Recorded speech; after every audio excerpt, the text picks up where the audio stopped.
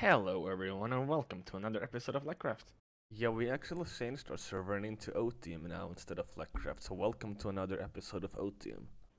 Today we're starting off the episode at the main storage here, because I just need to pick up some rockets. I'll grab a couple shulkers of rockets here, and actually now I noticed that I should grab some food over here as well. Uh-huh, there we go. And while I'm here, I might as well pick up some loose rockets. So my stack doesn't run out and I need to start using these ones instantly. And now, I'm going to go to the nether, to our new nether perimeter. Where we are preparing a 3000 long strip for to fit the helix in. So we need to remove bedrock in a 3000 by 36 wide area. Need to remove all five layers of bedrock in that area so that we can fit a helix to remove even more bedrock. So now I just used our pearl cannon to get over to this area where we also have our return cannon here to get us all the 10,000 blocks back home instantly. So here is the machine we used to drop the dragon eggs first of all. So this machine was uh, designed by Xcom on the Hekate server. So this will just drop the eggs and keep going, remove the blocks, pull them down and back. And at the end it will stop, and then you can launch it back and rerun it, and it will push the blocks back up and just place the dragon eggs again. It's really simple and easy to use, if you built it correctly, which we did not do the first three times. And it broke, and we had to rebuild it three times. But anyways, here you see the big, big strip of bedrock we need to remove. We've already removed two layers of the bedrock. I did that on stream yesterday. So we have three layers left, which I want to do now. So I'm going to keep placing lots of dragon eggs on top of the netherrack here. And I'll see you when that's done.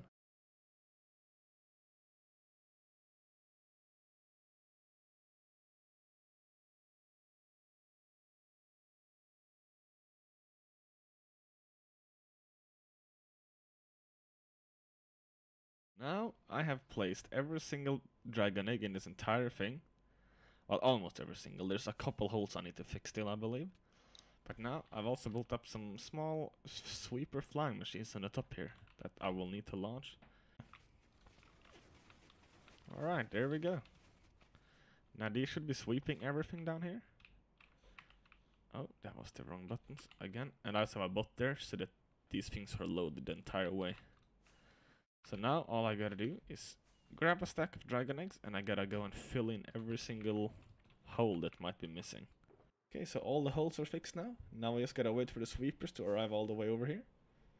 And then we can uh, start launching the machine that drops all the dragon eggs onto the bedrock. Now we are ready, I hope.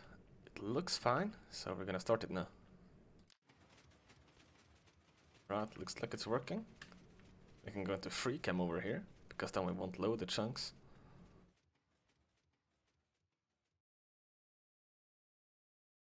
I think it's working, we just need to reload chunks. Hold on, let's go into spectator, spectate egg dropper and then free cam, because then we will move at the correct speed and load the chunks on the client side. Alright, it is working, look at this. Beautiful. It's removing all the bedrock and the netherrack that it needs to remove.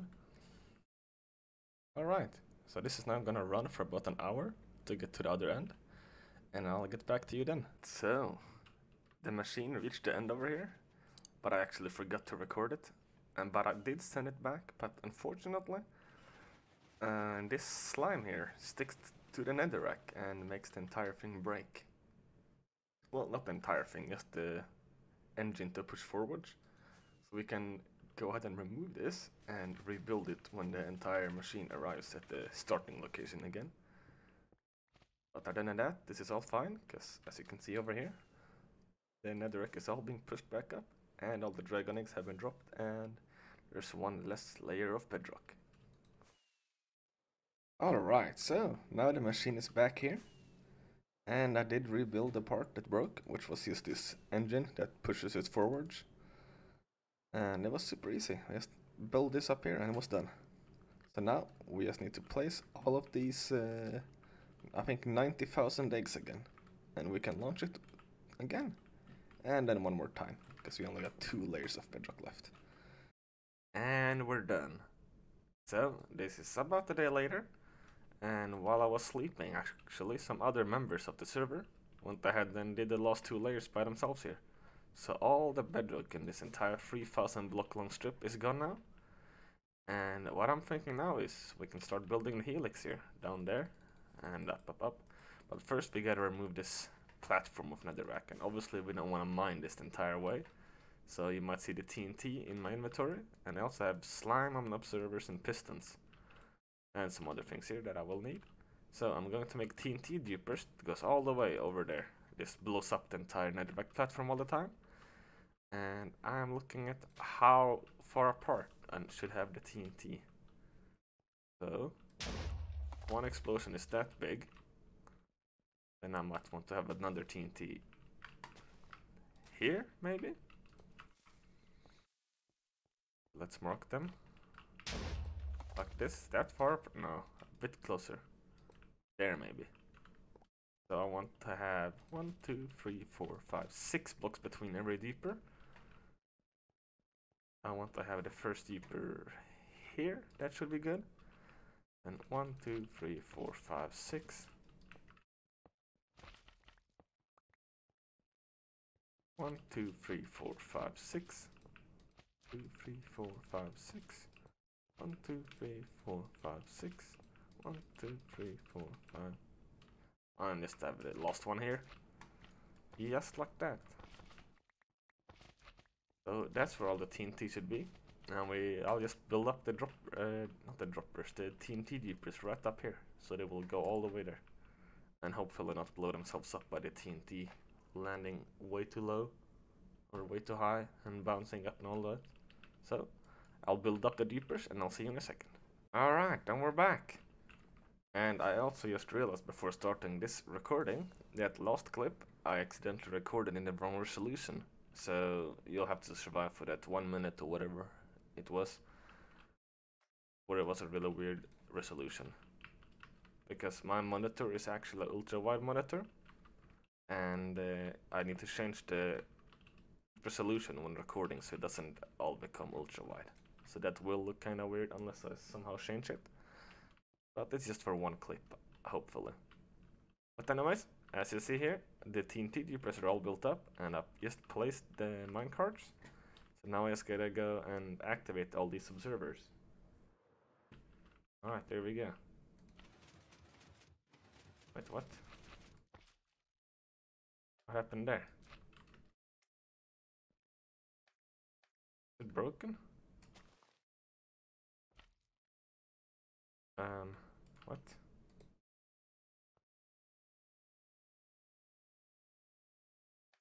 Why is this not working?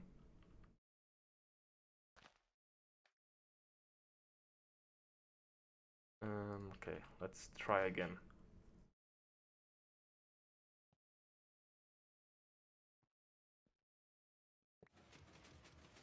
There we go. Perfect. Well, here we go. Now this should all be fine. Let's get down here and check. Oh, oops. Spectator like this. Maybe we should have had him a little bit higher up. But oh well, this will be fine.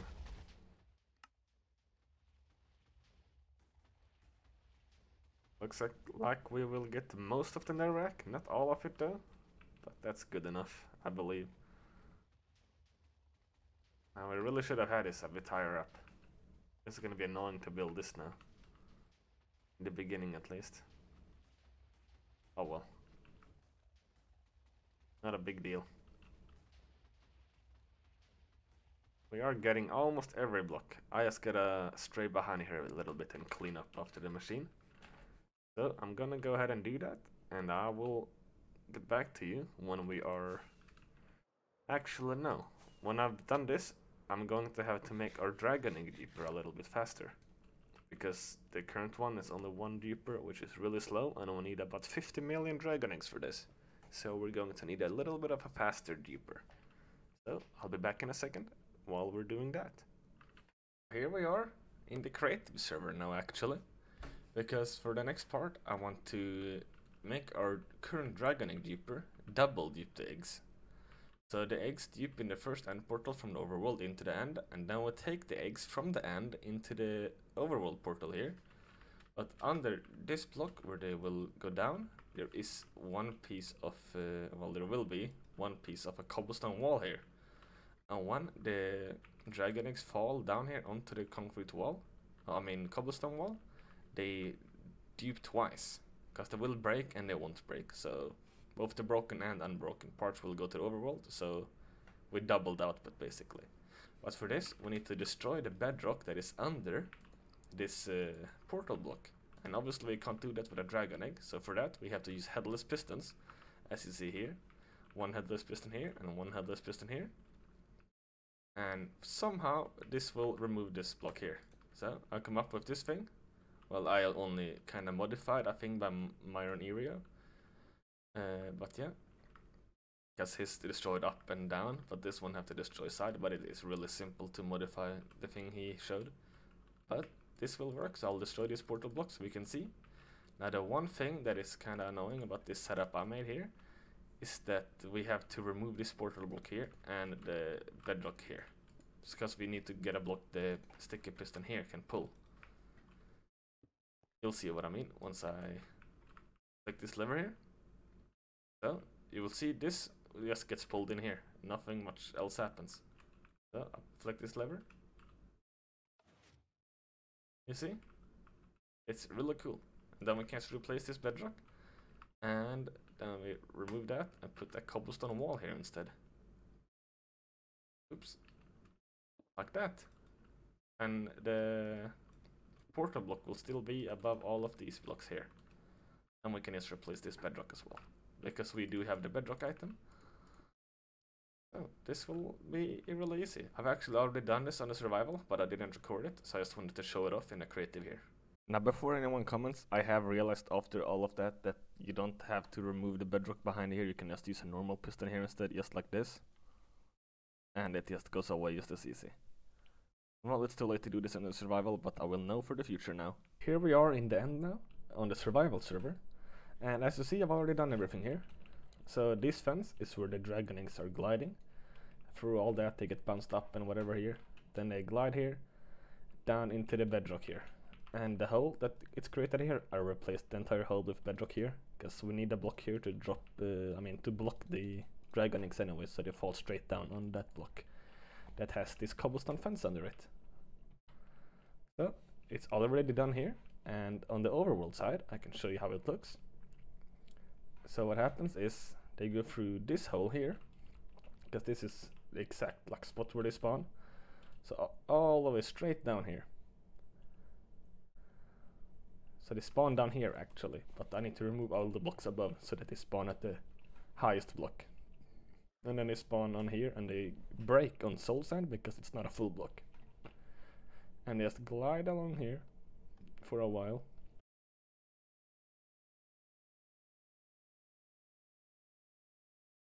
Once they're here, they get pushed in here, and when I activate everything, there is a... Oh, that's the wrong kind of block. There we go. When I activate everything, there is this uh, line of slime blocks and a redstone block that activates this clock here, which activates a item elevator here, as you can see. It just pushes up like this. It's very primitive, but it works. And here we are here's lots of chests of dragon eggs and that's a mistake. Those are not supposed to be there. There was an accident we had when we didn't have enough shulkers in the shulker fillers. Here we go. And each lamp here represents 305,000 dragon eggs.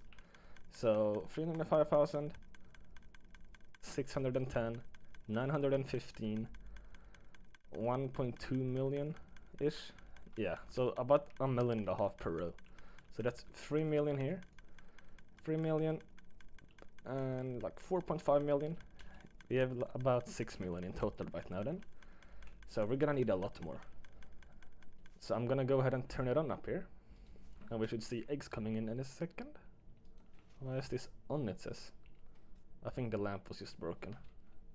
Right, we can go to spectator here. Or we can go down here and we'll see when the dragon eggs start coming in. Oh no, actually. Now that I remember, we need to go to the end for that because I never activated the pusher thing that pushes all the eggs into the end portal again. There we go. Why are we not see- Oh yeah, I remember. We're actually far away now. Because I realized that uh, we need to go and reload our permaloader.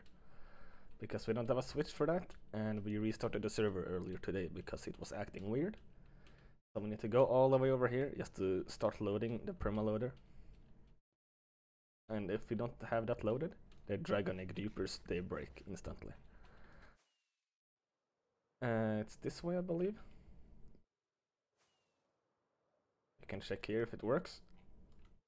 There we go, it works. Now we can fly back and get home. And it should be safe by going straight through the portal here. And we should be back in the end. Right there. Alright. Uh, okay, we don't want to activate this just yet because we need to reactivate the Dragon Egg Dupers now. Alright, now we're back here again. Uh, let's flick this. Let's head down here. Let's head down here. Let's go to spectator from here. And, uh, oh, never mind. I forgot to activate the thing in end again. Now, any second now, the eggs are hopefully going through.